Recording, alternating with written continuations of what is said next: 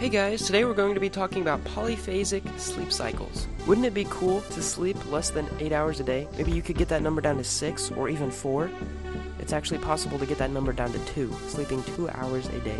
Can you imagine what you could do with all that extra time? We're going to learn how to get the minimum amount of sleep possible and still live a successful and healthy life. Now, if you are only sleeping 8 hours a night in one setting, this is called a monophasic sleep cycle. You are only going through one sleep session per 24 hours. If you switch this up a little bit and you do something called a biphasic sleep cycle, you are sleeping twice per 24 hours. And a lot of people do this, they sleep for 5 hours a night, and then around halfway through the day, they take a 90 minute power nap.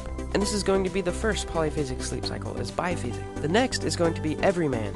And this sleep cycle consists of a three and a half hour sleeping session during the night and three 20 minute power naps throughout the day, which totals up to around four and a half hours, which saves you three and a half hours of sleeping. The next is Dymaxion, and this is four 30 minute naps.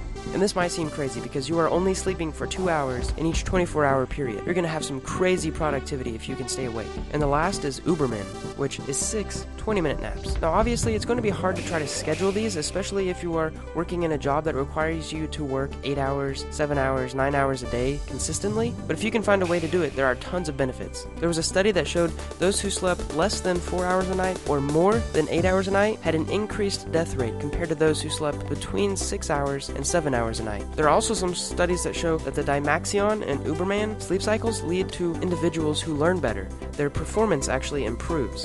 And a lot of case studies say that the users feel euphoria, and coincidentally, it has been found that some people who sleep too much start to suffer depression, or maybe it's the other way around. Those who suffer depression start to sleep more. You will also find that you will dream more, and this may allow you to lucid dream more often. Now, polyphasic sleep cycles are common in many animals and have been found throughout history used by people such as Leonardo da Vinci and Nikola Tesla and even Napoleon. The US military has done some tests, and they found that it is completely healthy to take 45 minute naps throughout the day at any time that you want as long as it totals 8 hours. NASA also did some tests. They did the same thing except with 2.5 hour naps. Their studies showed that the alertness of the individual increased as well as the working memory.